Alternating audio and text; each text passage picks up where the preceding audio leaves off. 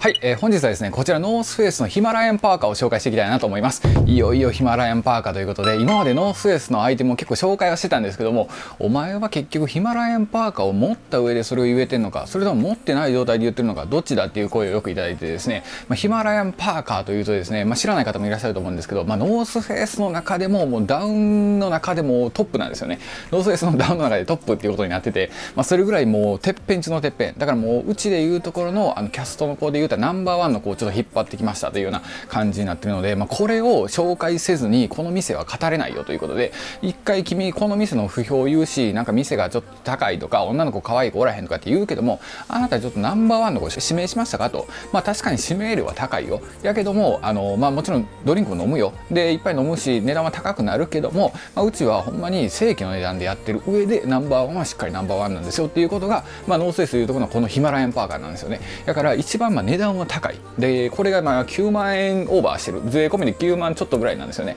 だからダウンジャケットにしてはお高いなっていう感じであのー、まあ高いんですけども最強の最強っていうことでもしかしたらあんまりノースフェイスが最近知った方とかあんまりよく分からへんっていう方からしたらですねまあ巷で人気のこのあのバルトロライトジャケットっていうジャケットともそっくりなんですよね。何がちゃうんっていうぐらいそっくりになってるんですけど、まあ、あの今日は別に特に比較する予定はないんですけどまた別動画でそれは比較は取ろうとは思ってるんですけども、まあ、それぐらいこう似てるようなアイテムなんですが、まあ、これがもうナンバーワンの top of top ということになってるので、まあ、これの紹介をざっとしていきたいなと思います。ということで今日の流れとして話はすると、えまず形ですよね。どういった感じで、まあ、ロゴとかも実は 2, 2つあるんですよね。ノースフェイスって左肩にあって胸にもあるしでも逆のあの腕のところにもあるということでどっちから見てもノースフェイスなんだよっていうのが分かったりするっていう、まあ、形があったりだとか、まあ、ここになんかペン刺すとかあるけどこれペン使うのかなっていうのでちょっと分からへんけどもでその次に特徴ですよね。こういった特徴がありますよっていう話をしてでその次にデメリットとは言いながらも最強がゆえにやっぱりちょっとどうなんかなっていうところがあったりするっていうまあナンバーワンがゆえにやっぱり指名が取りづらいっていうのもあるとは思うんですけど、まあ、そんな感じの話をして最後のおすすめの人で、え、サイズ感という順番でいきたいなと思います。一応サイズ感としてはあのー、さっきのバルトロライトジャケットとサイズも全く一緒なんですね M サイズなんですけども全然サイズ感というか、まあ、形が違うのであのー、結構大きい感じになってるんですけどまあそんなも後で見てもらおうかなと思いますので、まあ、まずは形からまあパッと見てもらいましょうか、えー、まずですね、まあ、パッて表面から見ていくと左のロゴの下側に、えー、ジップがあるんですね。でこのジップはよく見てもらうと止水ジップって言って水が通らないジップになってるので水が通らへんジップを使ってるってことは生地も水が通らんのかなっていうイメージはつくじゃないですか。でまあ生地が水が通らんことはないけどまああの多少の水とか雪とかは全然問題ないっていうことになってるので、えー、まあ、止水ジップが使われてますよと。でこれもパッて開けていくと、まあ、大きさ的にはそうですね、まあ、財布とかは入るかなっていうぐらいな感じ感じなんですけどこれがもともと山の山頂とかで使われることをあの考えて作られてるジャケットなのであまり財布を入れることは考慮されてないとは思うんですけど、まあ、日常的にやったら別に財布も使えることはなくて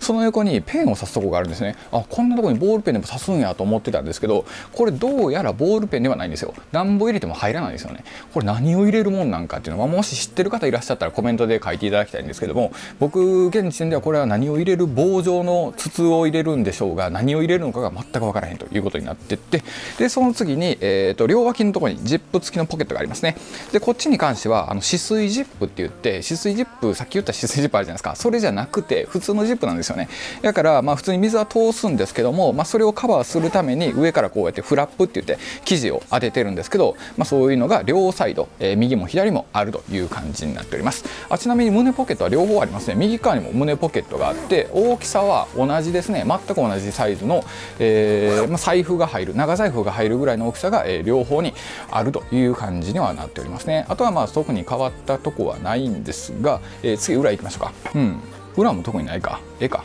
じゃあちょっと開けたとこ見ていきましょうか。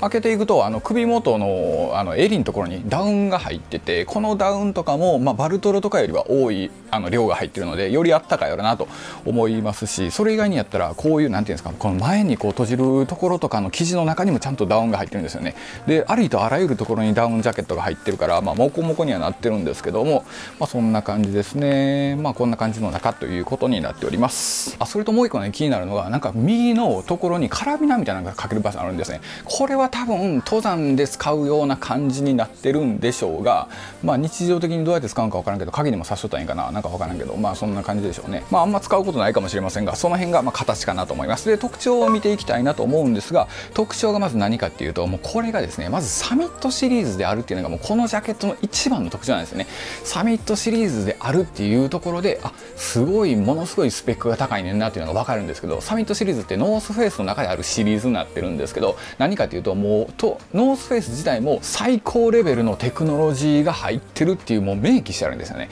だからもう最高レベルのテクノロジーが入ってるっていうことはまあそれこそ、まあ、ボトルとかで言うたらロマネ・コンティみたいな感じなんですか。僕ちょっとあのドリンクとかシャンパンが何か分からへんけどそういう高級なシャンパンであったりだとかあとはまあドラゴンボールでいうところの、まあ、悟空よりもちょっと強めのブロリーみたいな。あブロリーレベルのジャケットはほんな強いなっていうのが分かると思いますし、まあ、それ以外にやったら、まあ、去年のドラフトでいうところの,、まあ、あのロッテに入った佐々木朗希君みたいな感じのもう超大型注目選手みたいな感じになってるんですけど、まあ、そういったノースフェイスの中でももう超あの最高レベルの、えー、シリーズっていうのがこのサミットシリーズになってます。だから左のあの腕のところにサミットシリーズって入ってあるんですけど、まあ、これがあるってことはノースフェイスの中でも最高級のレベルを使ってるってことなんでもちろん値段も絶対的に高いということでこのロゴがあればもう値段見る前からあこれはお高い商品なんですなっていうのが分かったりするっていうのがこのサミットシリーズになってるんですけどそのダウンジャケットということになっております。なので、えー、最強というところにはなってるんですがまずそれが特徴になってるんですけどじゃあどういうところが最強になってくるのっていうと次の特徴になってくるんですけどそれがですね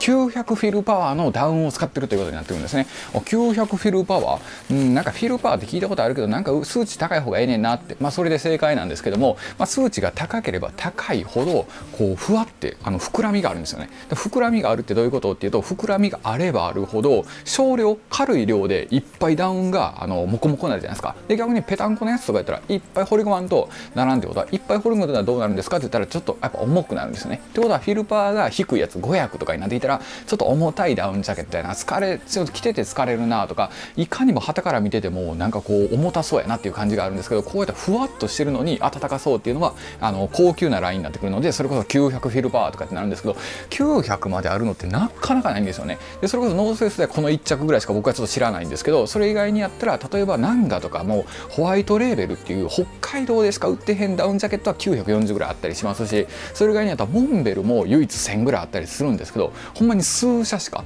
あのこんだけ登山メーカーアパレルメーカーいっぱいある中でももちろんそれ以外にもあるんですけどあのほんま数社ぐらいしか取り扱ってないぐらい900以上のフィルパワーのダウンってめちゃくちゃ珍しいんですよね。でそれを使ってるっていうところがまあまあまああのサミットシリーズのゆえんかなと思いますしそれ以外にやったら一応ダウンも入ってて高電子っていう綿も入ってるんですね。これはまあ人工で作られた綿みたいなもんなんですけどこの人工で作られた綿っていう光電子っていうのが要はどうやって暖かくするかっていうと例えばダウンってこの自分の体温あるじゃないですか。例えば好きな子と一緒におったりしたらドキドキして体温が上がっていたりしたらこう暖かくなるのは分かるけど全然冷め切った夫婦で隣におったりしたら全然体温もまた上がらなくて全くドキドキもせえへんねんなっていうご夫婦もいらっしゃるかもしれないですけど、まあ、そういう方とかやったらこの高電子があることによって高電子はねドキドキせんくてあのときめかんでもあの遠赤外線で温めるんですよね。だから要は体から出てる赤外線をこれが吸収して反射してくるんですよ。で暖かくなるってことになってるので別に体温を高める必要もないしあの吊り橋を一緒に渡る必要もないしジェットコースターを一緒にデートする必要もなくて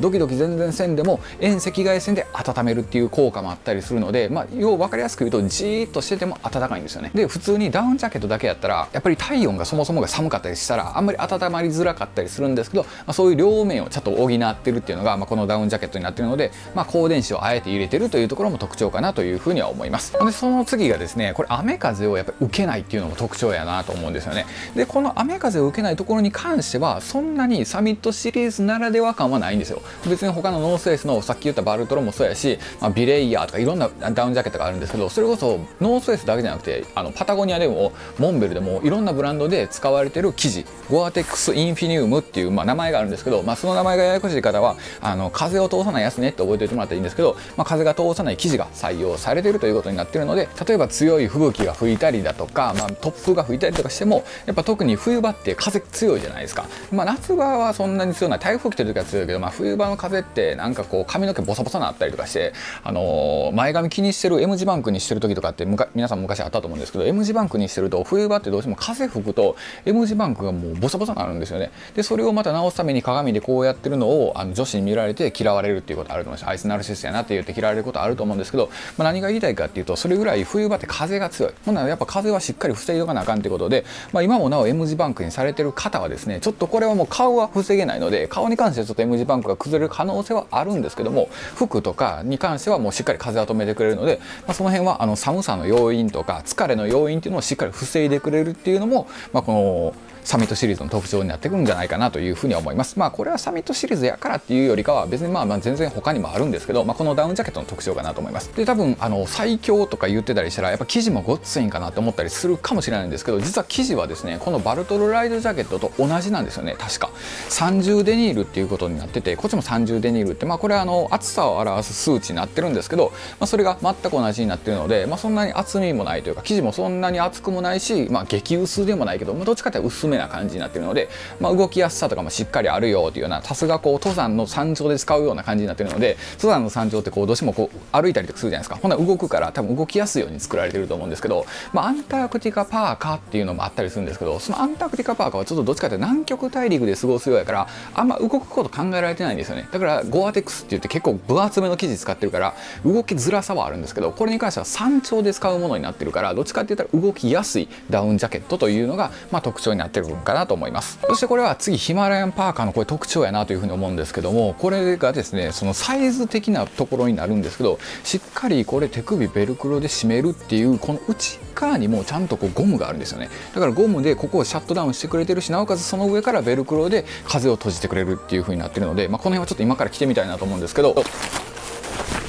すごいでしょ迫力が。あの、まあ、モコモコになってるんですけどね。あの中がこうねあのなんて言ったらいいんですかね。これビレイヤパーカーってやつも同じ感じなんですけどこう中がもうゴムでキュッて絞ってくれてるから、まあ、最悪このベルクロ締めなくても風が入ってこないんですよね。でまあもちろんここからベルクロをしっかり締めてあげればもっと風が入ってこえへんし、まあ、これはあの登山で作られてるようになってるのでおそらくこの上に手袋とかを作るんですね。手袋をつけて手袋の上からこれを締めるような感じになってるので、まあ、全く裾側から風が入ってこないような設計になってるということでもちろんかあの生地も入ってこないんですけど生地だけじゃなくてちゃんと隙間からも入ってこないようなことになってて首元もねめちゃくちゃ上まで締まるんですよ。まあ後で着用動画見てもらったら分かるんですけど。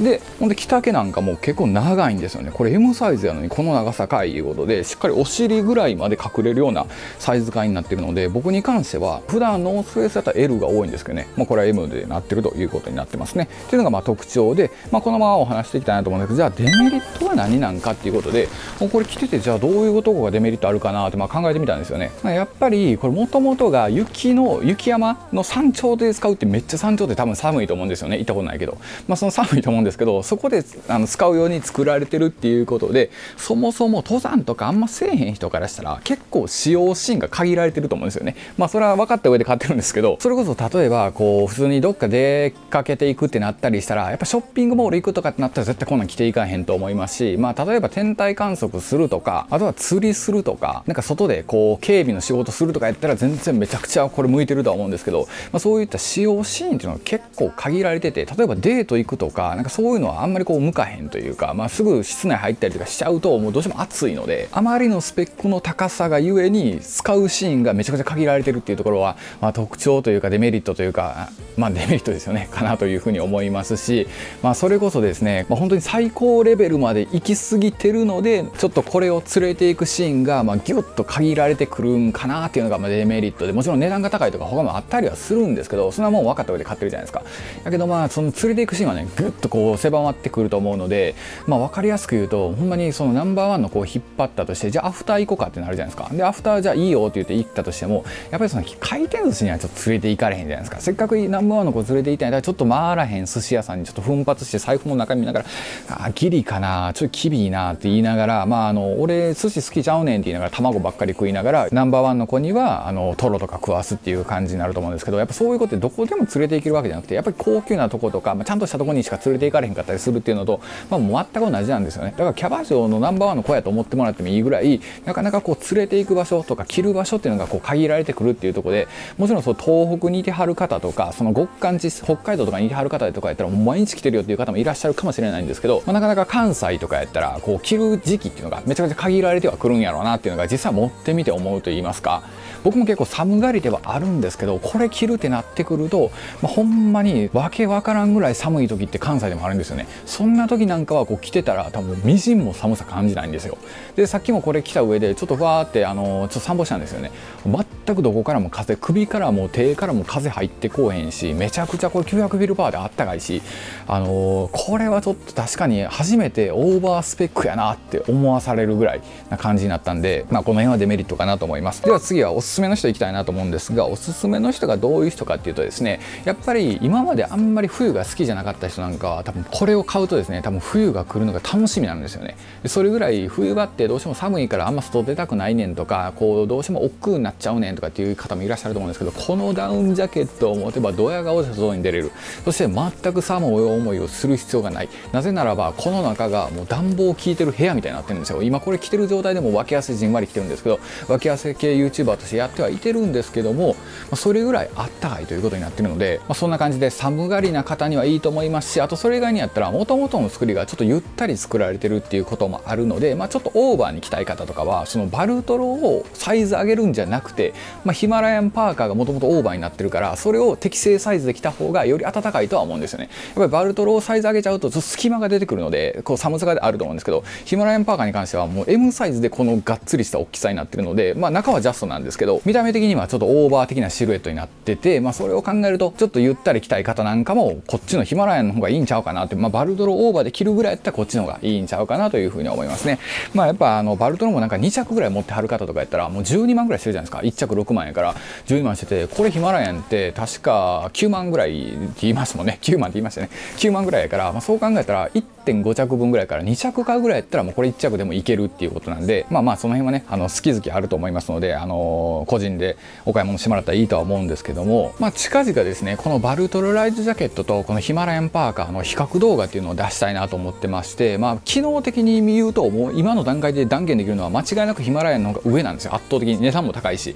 1.5倍ぐらいするからそれは圧倒的にこう機能は上やけどもじゃあかっこよさはどうなんて言うだったらかっこよさは人によって違うじゃないですか。捉え方は違うけどじゃあどういうところが微妙に違うんっていうのをまた比較動画出そうと思ってますしもちろんサイズとかもあの見比べてもらおうとは思ってるので、まあ、それはまた楽しみにしていただければいいかなと思うんですけども、まあ、最後はあのサイズ感に行きたいなと思います、まあ、サイズ感が先ほど言ってみたように僕は M サイズ178センチで69キロで着用しているということになっておりますので、まあ、そこはあの見てもらって判断していただければいいかなと思いますしもしかしたらですねこれ見ていただいている方の中でいやオーバースペックすぎるやろっていう方もいらっしゃるとは思うんですけどあの、まあ、寒くてこれを欲しいっていう方ももちろんいらっしゃると思うので、まあ、その辺はあの個人の主観っていうのは一切僕は受け付けておりませんので、まあ、そう思ったとしてもぐっと心の中であの秘めといてもらえればあこれを欲しいと思う人もいてるしこれが必要と思ってる人もいてるんだっていうねあの他人への配慮を持った上で見ていただければ嬉しいなというふうに思いますので、まあ、今日はそんなナンバーワンキャバ嬢ちゃんのお話をしてみたということになっておりますので本日はですねヒマラヤンパーカーを紹介してみたという動画になってます。また別動画でお会いしましょう。ありがとうございました。